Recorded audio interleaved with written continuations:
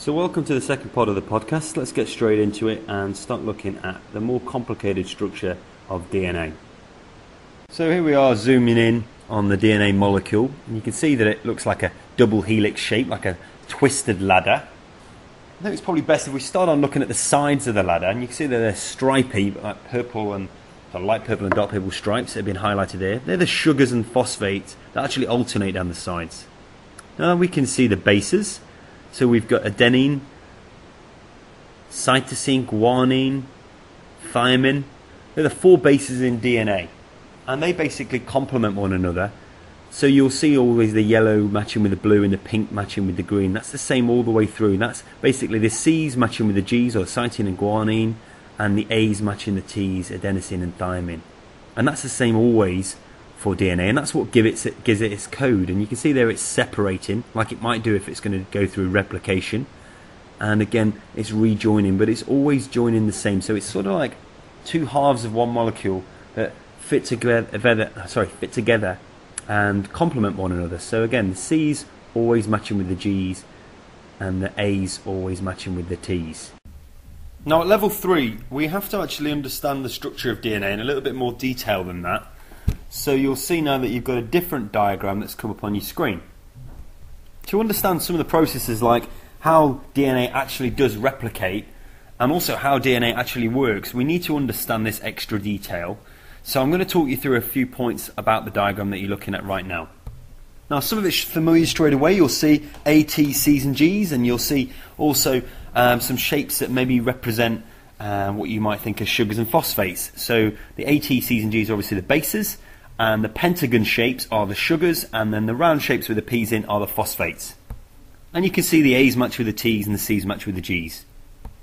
So if we look first of all at the sugars and the phosphates along the sides of the DNA molecule, we basically we can see that that's bonded, and that's actually bonded with really really strong phosphodiester bonds. We don't really need to remember that what type of bonds they are or anything like that. We just need to remember that they're strong bonds and they're, they're held together pretty tightly. So the sugars and phosphates form quite a rigid backbone to the DNA.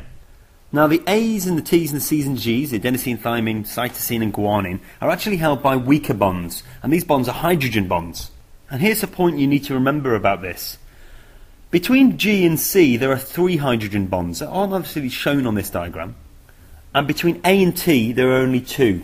Now, that's important because sometimes you have to label a diagram in a test, and the way I remember always always remember this is there's two or three bonds between the bases, and I always remember it's three between G and C, and it rhymes like that, so it sort of can be helpful maybe. So three hydrogen bonds between G and C, two hydrogen bonds between A and T. Another thing I need to point out is the differences between the bases, and the fact that the bases actually fit into two distinct categories, and the categories we call them are purines and pyrimidines. Now it's not shown in the diagram, but purines are the bigger of the bases, and pyrimidines are the smaller of the bases. Adenine and guanine are purines, so they're the bigger ones, and pyrimidines are the smaller ones, so they're thymine and cytosine, or T and C. So I'm hoping by now we've got a bit of an idea as to the order of the way that things are structured. So we've got the bases in the middle, held together by the hydrogen bonds. We've got the sugars and the phosphates on the outside, that are held quite strongly by the phosphodiester bonds, and that the bases are actually attached to the sides of the ladder, if you like, at the sugars. So the bases attached to the sugars, the bases attached to each other, rather than the bases attaching to the phosphates. There's one more thing we need to look at, and I'm going to see if you can pick up this yourself. I want you to just look at the sugars on the diagram and see what you can tell is the difference between the sugars on the left hand side of the molecule and the sugars on the right hand side of the molecule. Pause it for a second if you need to. Okay, well, what you should have noticed is that on the left-hand side of the, the, diagram, on the molecule, you notice that the, the pentagons, if you like, are pointing upwards.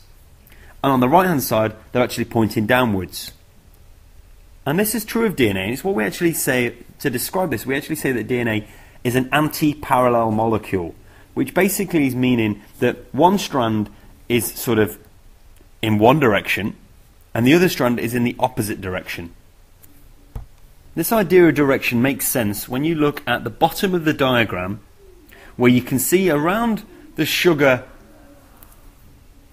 molecule, you can actually see 1, 2, 3, 4, and 5. The numbers 1, 2, 3, and 4, and 5. And what they actually are there is they're representing the carbon atoms in the sugar. So this is a 5 carbon sugar. So for those that don't know anything about chemistry, all you need to know is it's sugar that contains 5 carbon atoms. Where the base attaches, that's at number 1 carbon atom. And then as we move around the sugar, we can see two, three, four, and 5. Now, along the left hand side, side of the diagram, you'll see that as we move up, we're going towards the 5 sugar, or the, sorry, the 5 carbon atom, the number 5 carbon atom. Whereas on the right hand side of the diagram, as you go up, you can see you're actually going towards the direction of the number 3. So there's a 3 end at the top of the right hand side and a 5 end at the top of the left. This difference between one side and the other becomes really important when we get to DNA replication. But right now, all you need to know is that there is a difference between one side and the other, and it's based around the position of those carbon atoms. Now, you might need to replay that stuff backwards again, because to prepare properly for the test, you do actually need to memorize this diagram and know, for example, which are the bigger bases, which are the purines, and which are the pyrimidines. What are the numbers? How can you number the carbon atoms on the sugar? The number of hydrogen bonds between the different bases and you need to be able to explain how we can actually talk about that anti-parallel nature of the molecule, that sort of direction sort of thing, in relation to those carbon atoms on the sugar. Okay, guys, so that's about it for this podcast. So that's the first section of this whole unit. Remembering that what we're talking about here is in the whole unit is how is DNA responsible for determining the traits that we have.